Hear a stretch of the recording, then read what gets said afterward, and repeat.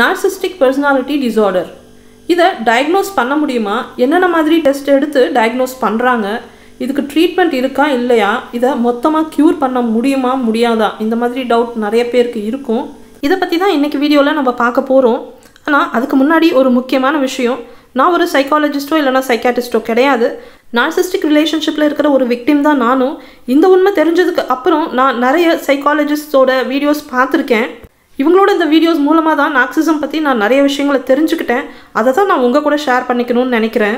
அதுக்கு முன்னாடி நம்ம சேனலுக்கு இது வரைக்கும் சப்ஸ்கிரைப் பண்ணியிருக்கிற எல்லாருக்குமே ரொம்ப தேங்க்ஸ் நீங்கள் நம்ம சேனலுக்கு புதுசாக வந்திருந்தால் உடனே சப்ஸ்கிரைப் பண்ணிடுங்க கூடவே பெல் ஐக்கானும் ப்ரெஸ் பண்ணிடுங்க அப்போ தான் நான் போடுற வீடியோஸ்க்கான நோட்டிஃபிகேஷன் உங்களுக்கு உடனுக்குடனே வரும்.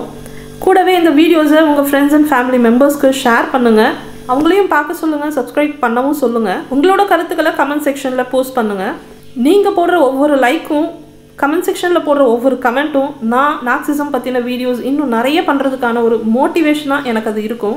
சரி வாங்க வீடியோக்குள்ளே போகலாம். இந்த நார்சிஸ்டிக் பர்சனாலிட்டி டிசார்டர் இதை டயக்னோஸ் பண்ணுறதுக்கு கிளினிக்கல் டெஸ்ட் எல்லாம் எதுவும் இருக்கிற மாதிரி தெரியல. ஆனால் இந்த டிசார்டர் ஒருத்தருக்கு இருக்கா இல்லையான்னு கன்ஃபார்ம் பண்ணுறதுக்காக அவங்களுக்கு பர்சனாலிட்டி டயக்னாஸ்டிக் கொஷனர் அப்படிங்கிற ஒரு டெஸ்ட் எடுக்கிறாங்க. இவங்களோட மென்டல் ஹெல்த்தை செக் பண்ணுறதுக்கான சில கேள்விகள் எல்லாம் அதில் அடங்கியிருக்கும். ஸோ இவங்க சொல்கிற பதிலை வச்சு இவங்களுக்கு இந்த மென்டல் டிசார்டர் இருக்கா இல்லையான்றத சைக்காலஜிஸ்ட் கன்ஃபார்ம் பண்ணுவாங்க. கூடவே இவங்கக்கிட்ட இருக்கிற சைன்ஸ் அண்ட் சிம்டம்ஸ் அந்த பிஹேவியர்லாம் இருக்கு இல்லையா? அதை வச்சும் டாக்டர்ஸ் வந்து டயக்னோஸ் பண்ணுவாங்க.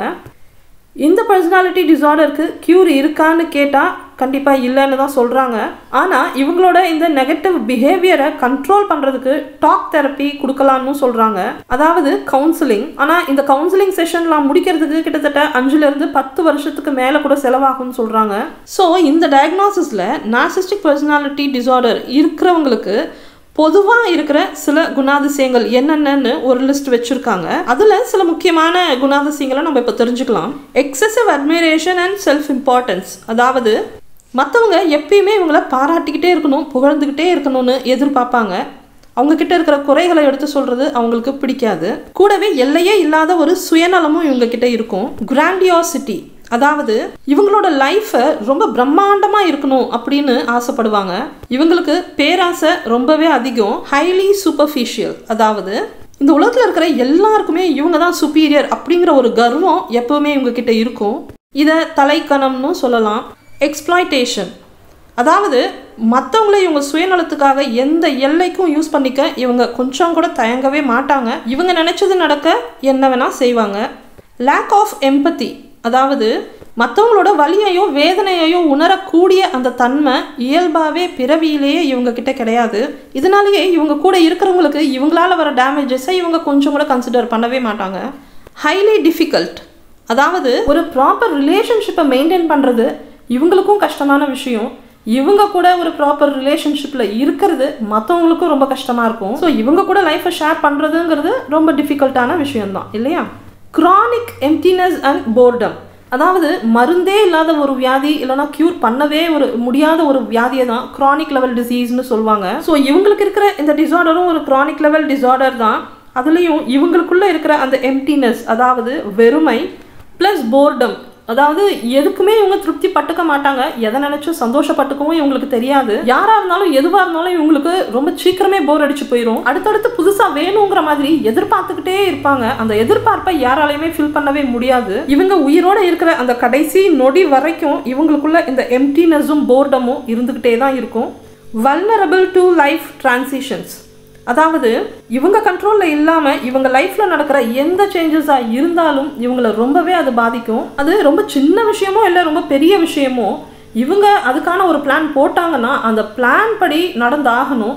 சப்போஸ் இவங்க போட்ட பிளான் படி அந்த விஷயம் நடக்கலை தடங்கள் ஆயிடுச்சு இல்லைனா அது வேறு மாதிரி மாறி நடக்குது அப்படின்னா அதை இவங்களால டைஜஸ்ட் பண்ணிக்கவே முடியாது. பயங்கரமாக ரியாக்ட் பண்ணுவாங்க. ஸோ இதெல்லாம் தான் பேசிக்காக என்பிடி இருக்கிறவங்களோட குணாதிசயங்கள்னு சொல்கிறாங்க இதில் நம்ம தெரிஞ்சுக்க வேண்டிய இன்னொரு முக்கியமான விஷயமும் இருக்குது அது என்னென்னா இந்த என்பிடி இருக்கிறவங்களுக்கான இந்த பிஹேவியர் லிஸ்ட்டுன்னு ஒன்று சொல்கிறாங்க இல்லையா? இந்த பிஹேவியர் எல்லாருக்குள்ளேயுமே எல்லா மனுஷங்களுக்குள்ளேயுமே ஒரு குட்டி பர்சன்டேஜ் அளவில் இருக்க தான் செய்யும். ஸோ நம்ம கூட பழகுற யாருக்காவது இந்த குணமெல்லாம் இருந்துச்சுன்னா உடனே அவங்க நாக்சிஸ்ட் அப்படிங்கிற ஒரு முடிவுக்கு வந்துடக்கூடாது. நாக்சிஸ்டிக் அண்ட் நாக்சிஸ்ட் இது ரெண்டுத்துக்குமே பெரிய டிஃப்ரென்ஸ் இருக்குது இந்த நார்சிஸ்டிக் பிஹேவியர் இருக்கிறவங்களுக்கு லைட்டாக இந்த பிஹேவியர்லாம் இருக்கும். அதனால மற்றவங்களுக்கு எந்த பாதிப்பும் வராது. எடுத்து சொன்னால் அவங்க புரிஞ்சுப்பாங்க. செஞ்ச தப்பை மனசார உணர்ந்து மன்னிப்பும் கேட்பாங்க. ஸோ அந்த டிஃப்ரென்ஸை இவங்க கிட்ட நம்ம பார்க்கலாம். ஸோ நாக்சிஸ்டிக் பிஹேவியர் இருக்கிற எல்லாருமே நாக்சிஸ்ட் கிடையாது. ஏன்னா இதை வச்சு ஒருத்தரை தப்பாக புரிஞ்சுக்கிட்டு அவங்கள தேவையில்லாமல் கஷ்டப்படுத்திடக்கூடாது இல்லையா? அதனால நான் இதை தெளிவாக சொல்கிறேன் இந்த குணங்கள் எல்லாமே க்ரானிக் லெவலில் ஹை லெவலில் இருக்கிறது தான் ரொம்ப கஷ்டமே. இவங்கள தான் நாக்சிஸ்ட் அப்படிங்கிற கேட்டகரியில் சேர்க்க முடியும். ஏன்னா இவங்களால மற்றவங்க லைஃப் ரொம்ப டேமேஜ் ஆகுது. இவங்க ஒரு மிகப்பெரிய அப்யூசராக இருக்காங்க அதனால இல்லையா? ஸோ நாக்சிசம் பற்றின நிறைய விஷயங்களை நம்ம தெரிஞ்சுக்கும் போது இந்த சின்ன சின்ன வித்தியாசங்களையும் நம்ம தெரிஞ்சு வச்சுக்கிறது ரொம்ப அவசியம் சரியா? நல்ல குணங்கள் கெட்ட குணங்கள் ரெண்டுமே அடங்குனது தான் மனுஷ இனம் இல்லையா? இதில் எந்த குணம் அளவுக்கு அதிகமாக இருக்குது அப்படிங்கிறத வச்சு தான் ஒருத்தர் நல்லவங்களா இல்லை கெட்டவங்களா அப்படிங்கிற ஒரு ஜட்ஜ்மெண்ட் ஜட்ஜ்மெண்ட்னு கூட சொல்லக்கூடாது. நமக்கான ஒரு முடிவுக்கு நம்ம வர முடியும். ஏன்னா ஒன்று ரெண்டு விஷயங்களை வச்சு நம்ம யாரோட கேரக்டரையும் ஜட்ஜ் பண்ணிடவும் கூடாது. இப்போ இந்த நாக்சிசம் இருக்கிறவங்கள டாக்டர்ஸ் வந்து நாலு வகையாக பிரிக்கிறாங்க. அதுக்கு நிறைய பேரெல்லாம் சொல்கிறாங்க பட் நமக்கு புரிகிற மாதிரி ஒரு நாலு வகையாக பிரித்து நான் உங்களுக்கு அதை சொல்கிறேன் இதில் முதல் வகை வந்து லெசர் நாக்சிஸ்ட் அதாவது டாக்டர்ஸ் வந்து இவங்கள ஓவர்ட் நாக்சிஸ்ட் அப்படின்னு சொல்கிறாங்க நம்ம ஏற்கனவே பார்த்த அந்த கேரக்டர் லிஸ்ட்டு இவங்களுக்கும் இருக்கும். ஆனால் இவங்கக்கிட்ட இருக்கிற ஒரு வித்தியாசம் என்னென்னா ஒரு முகமூடியை போட்டுக்கிட்டு அதாவது அந்த நல்லவங்க வேஷத்துக்குள்ளே ஒளிஞ்சுக்கிட்டு இவங்க எதையுமே செய்ய மாட்டாங்க.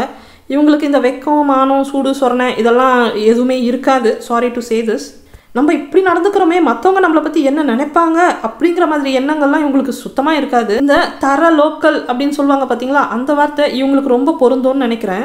ஸோ யார் இவங்களை பற்றி என்ன நினச்சாலும் இவங்களுக்கு அதை பற்றி கவலை கிடையாது. இவங்களோட தேவைகளை இவங்க நிறைவேற்றிட்டு போய்கிட்டே இருப்பாங்க.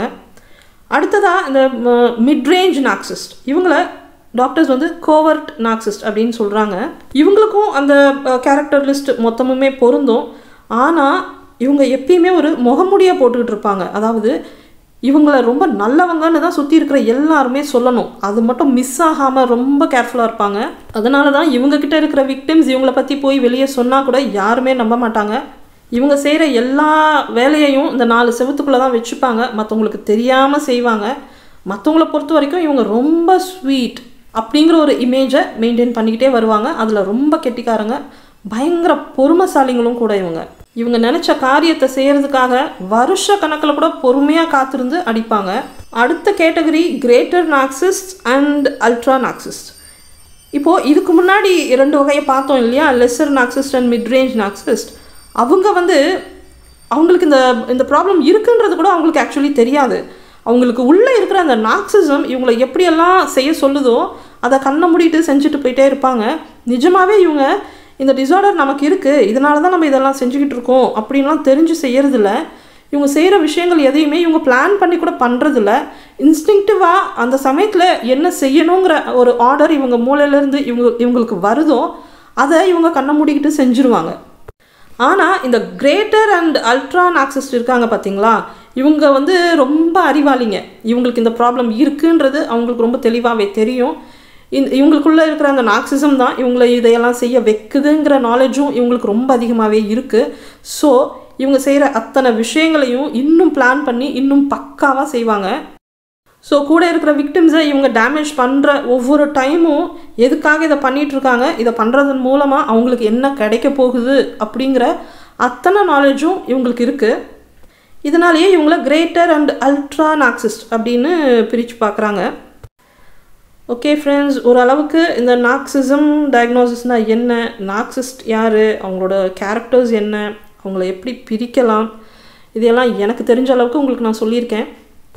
ஆனால் என்னோட எக்ஸ்பீரியன்ஸில் நான் ஒன்று சொல்கிறேன் இவங்கள டாக்டர்ஸ் கிட்டலாம் கூப்பிட்டு போயிட்டு இந்த தெரப்பியெல்லாம் கொடுத்து க்யூர் பண்ண முடியுமான்னு கேட்டால் முதல்ல அதுக்கு நம்மளோட நாக்சிஸ்ட் ஒத்துக்கணும் இல்லையா? இவங்களுக்கு இந்த ப்ராப்ளம் இருக்குங்கிறதையே இவங்க ஒத்துக்க மாட்டாங்க. அதனால் டாக்டர்ஸ் கிட்ட கூப்பிட்டாலும் வரவே மாட்டாங்க. இன்னொன்று தெரிஞ்சே பண்ணுறாங்க இல்லையா அந்த கிரேட்டர் அண்ட் அல்ட்ரா. அவங்களுக்கு தான் தெரியுமே. அதனாலேயே அவங்க வரமாட்டாங்க. ஸோ எப்படி பார்த்தாலும் இவங்க சேஞ்ச் ஆகணுங்கிற அந்த ஆசை இவங்களுக்குள்ளேயே கிடையாது. ஸோ நம்ம இவங்களை கூட்டிகிட்டு போய் ட்ரீட் பண்ணுறதும் ரொம்ப கஷ்டம். ஏன்னா அது அவங்க நல்லதுக்காக தான் சொல்கிறோங்கிறத அவங்க கண்டிப்பாக புரிஞ்சுக்க மாட்டாங்க. நம்ம அவங்களுக்கு அகெயின்ஸ்டாக ஏதோ பண்ணுறோம் அப்படின்னு தான் நினச்சிப்பாங்க. ஏன்னா நம்ம எதை செஞ்சாலுமே இவங்க தப்பாக தானே பார்க்க போகிறாங்க ஸோ இவங்களை டாக்டர்கிட்ட கூட்டிகிட்டு போனால் சரி பண்ணிட முடியுமா அப்படிங்கிற அந்த ஆசையெல்லாம் தள்ளி வச்சுட்டு இவங்கக்கிட்டேருந்து தள்ளி இருக்கிறது தான் நமக்கு safe take care stay safe stay strong love your self bye friends